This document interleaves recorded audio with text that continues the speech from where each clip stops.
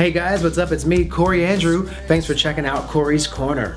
Singer-songwriter Ronny Morris has a new album out called Sweet Silence. It's one of my favorite albums. I love it. It's like a nice cross between being ethereal and rock, and he's a great artist. Now, the debut single was called Built to Last, and his new single is called I'll Survive with a video that was shot in New York City. Now, Ronny does a lot of work with Greenpeace. He likes to use his music to help save the planet. He's an overall good guy. You should definitely check out his music and check out his website too, which is ronny-morris.com. And that's Ronny, R O N N Y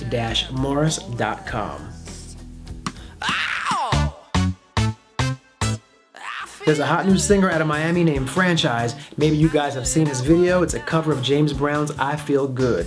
The boy can sing, he can dance, he's gonna be a star, and you can say you heard it here first on Corey's Corner.